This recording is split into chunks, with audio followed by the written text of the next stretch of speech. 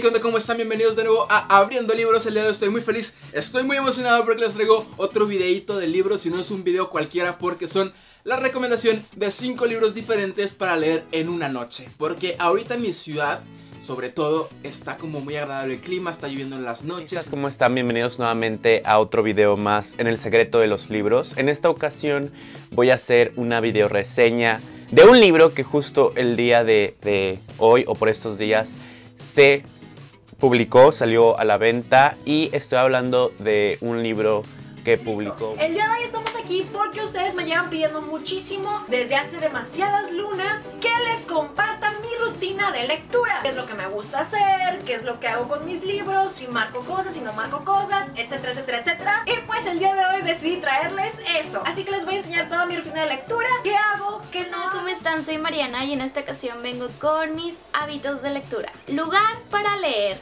Básicamente siempre siempre leo en mi cama marca páginas o qué usas. Bueno, la verdad es que no soy mucho de marca páginas, están preciosos, lo que yo uso son post-its.